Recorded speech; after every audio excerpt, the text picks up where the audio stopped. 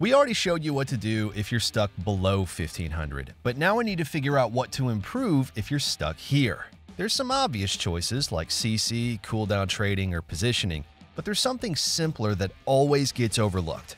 It's knowing how and when to swap targets. Let's think about the average solo shuffle experience here.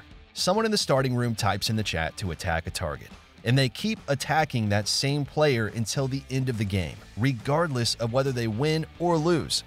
This seems good on paper, we get it, but there's one huge problem with this.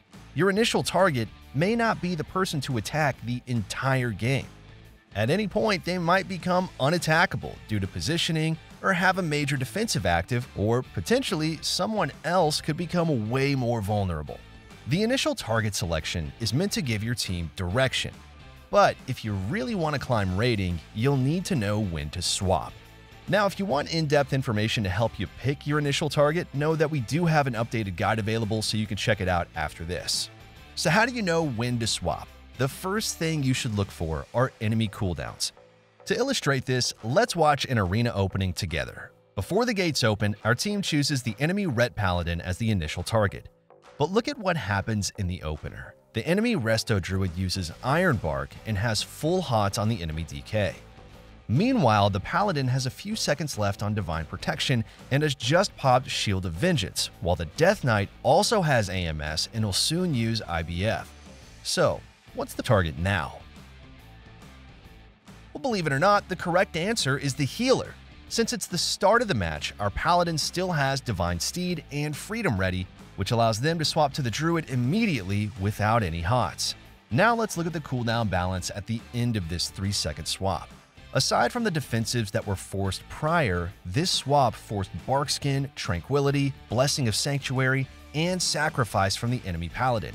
Not only that, but it also put the enemy Restoration Druid behind in HOTS and has opened up multiple kill targets. And if all this wasn't enough, the tempo swing was so hard that they even forced Divine Shield a second after. Let's take a look at another example, this time from the perspective of a caster, we're following a Destro Warlock playing with a Frost Mage, and their primary target is the enhancement. As soon as the Shaman uses Astral Shift, which is their biggest defensive, the Warlock and Mage quickly switch their targets to the Warrior, who is in battle stance and essentially tanking full damage. But right after the Shaman's wall wears off, the Warlock and Mage switch back to their initial target. With this aggressive target swapping, they are able to bait the Arms Warrior into using Die by the Sword, while also connecting an unpredictable burst of damage on the Shaman, which ultimately ends up forcing Life Swap. We just can't stress enough how important swapping on defensives really is. Unless you're totally sure that you can kill the enemy through their cooldowns, hitting someone that'll take full damage is almost always better since it opens up more win conditions. Now, there is an additional layer behind all this, and it's understanding how to find kill windows in the roulette lobbies of Solo Shuffle. PvP is all about synergy and knowing how to play with your partners. And that's why we've developed a brand new course at skill-capped.com, which is designed to teach you how to play with every class. Every video in this course includes detailed breakdowns showing you exactly how to adjust your gameplay depending on your partners in Solo Shuffle. While you're waiting for your next queue, you could be learning expert advice from some of the world's best players. We make it our commitment to make sure you will gain at least 400 rating while actively using our website. That's because our guides are proven to work, and if they don't, then you shouldn't pay. Visit the link below to get started with an exclusive discount offer. Arena doesn't always go your way, and sometimes it can feel like nothing you do matters. If you're experiencing these moments, a simple target swap might help. Let's see how. First off, as a caster, there's nothing more annoying than having a melee DPS chasing you down all game. It can feel like there's nothing you can do to make them go away, when in reality, it might actually mean it's time to swap to them. To make this most effective, you want to pull them into a vulnerable position by taking the melee to the outskirts of the map, ideally out of range or line of sight of their healer while still being in line of sight of your own. Let's take a look at this arena as an example. We're following a Warlock whose team is putting heavy pressure on the enemy mage. However, at the same time, the Warlock is forced to port away. While most people would immediately jump back in to keep pressure on the mage, they are all the way across the map. Meanwhile, the Ret is sprinting toward us with wings popped. Luckily, our Warlock has both defensives and CC ready, and using both of these, he baits the Ret into the starting room, completely out of line of sight of their healer, while dealing enough damage alone to force the Ret paladin back. Now, was the fact that he was a demo warlock part of this? Sure, but any caster in this situation has more power than they think. As long as you have defensives to fall back on, sometimes the safest thing you can do is bait melee away from their healer, which forces them to make a decision. Either they keep chasing you and risk overextending, or they realize what's happening and swap to someone else on your team, leaving you free to finally cast. It's worth noting that this strategy is particularly efficient in solo shuffle due to its lack of communication. In the case of our demo Warlock, it's easy to see the ret dying alone if the enemy Preservation Evoker didn't have mobility up or game awareness to realize what was happening. And since his Demon Hunter was away hitting the mage, it makes things extra confusing for the enemy healer because now they're forced to deal with two targets on opposite sides of the map. Now let's think of a common melee problem. You already know how difficult it is to play against double caster on an open map, it seems like no matter what you do, you're left stranded with nothing to attack. In these situations, it's best to rely on the tried and tested hit the nearest wizard strategy. I mean, can you blame us? We only keep bringing it up again and again because it's proven to work against double caster. This involves playing goalkeeper for your healer by always hitting the enemy wizard who's closest to your pillar. By ping ponging between casters, you prevent anyone from freely CCing your healer while also making sure you always have an easy escape plan in case you need to pull back. Sticking to this strategy is the safest thing you can do as a melee, and is your only chance at dealing maximum damage safely. Instead of trying to brute force a win by chasing a caster across the map, your goal is to win the war of attrition by slowly starving the enemy team's health and cooldowns. Scoring a kill using this strategy can be tricky. While it can take you into deeper dampening, eventually you'll need to find a kill window and go all out. This DK has been applying this strategy for 3 minutes straight, reaching 50% dampening, and slowly chipped away at the two ice blocks from the mage, the unending resolve from the warlock, and the trinket and emerald communion from the evoker. What this means is now he has a perfect window to apply pressure, and in these moments, it's sometimes necessary to push in while using a defensive cooldown to make the final kill attempt much safer.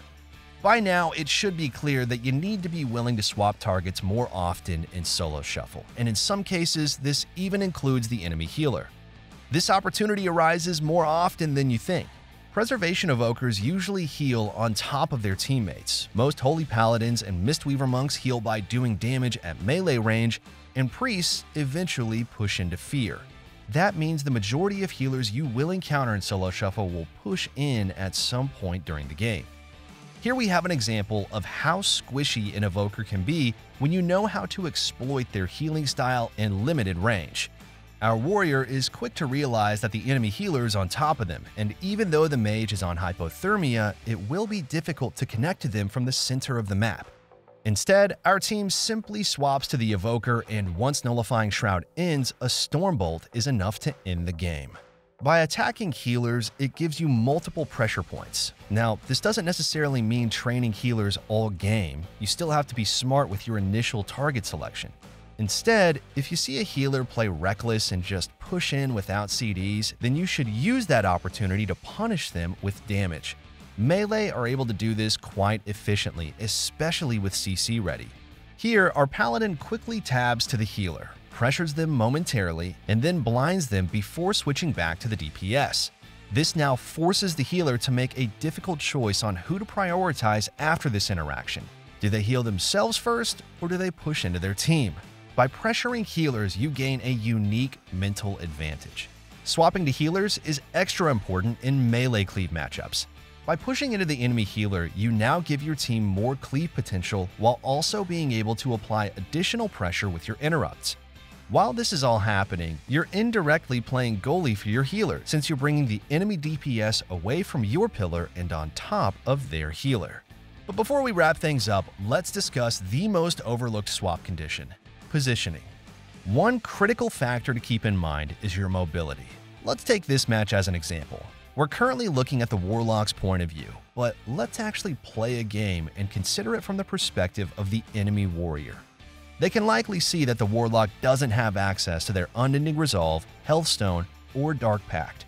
Furthermore, their Avatar Burst is locked and loaded, which means the Warlock is going to be their target, right? Well, not so fast. What he fails to realize is the Warlock's mobility. With both teleport and gateway ready, the warrior doesn't have the mobility to keep up and stay on target, which is enough to waste offensive CDs and drop the kill window. Always consider your ability to chase and connect with your target before making a big swap and committing your cooldowns. Mobility is a key part of PvP that's sometimes overlooked in the midst of chaos, but it's crucial for making the best decisions. This is why, as an intermediate or advanced player, we highly recommend tracking CDs with Omnibar to make it easier to see who you can stick to. Lastly, keep in mind that hitting a target with every cooldown still generates more pressure than mindlessly chasing a defenseless target that you're unable to connect with. There's no point in waddling across the map to hit someone kiting 100 yards away from you when instead you could keep damage rolling on someone else. Let's see this concept in practice. Notice how the mage we're following almost kills the enemy arms warrior. However, instead of pushing in, the mage makes the right call of immediately swapping to the Fury Warrior, dragging them to a location further away from the enemy healer. This creates another pressure point and forces the healer to leave the comfort of their pillar and move into the open field of the map to heal their teammate. The healer is now in an extremely vulnerable position to CC, which even results in them getting fully poly. Now we've gone from check to checkmate, all because we recognized a swap condition based on positioning. But say you're still not convinced. Let's go back to where this interaction happened. We'll pause and pretend the mage instead used their last charge of Shimmer to push in and chase the Arms Warrior. Most likely, the Arms Warrior would simply continue hugging the pillar, turning the corner, and line of sighting until their healer tops their health. At this point, the mage would be in a much worse position, close to both warriors, without mobility, and with the enemy healer having a pillar to work with, which is just not a situation you want to be in. Alright guys, before we wrap this up, we wanted to tell you a little bit more about Skillcapped. We're the only website that promises that you'll gain at least 400 rating while using our guides. Instead of needing to waste all that time painfully figuring out PvP on your own, Skillcapped has streamlined the entire process and is guaranteed to deliver results. And our brand new course is designed to improve your rating by teaching you how to synergize with other classes. We also have hundreds of solo shuffle commentaries where expert players teach you the secret strategies in order to beat the toughest lobbies. So, if you want to see real rating gains and achieve your goals this season, check out skill-capped.com using the links below. Anyway, guys, that wraps up today's video. We want to thank you all for watching, and we'll see you soon.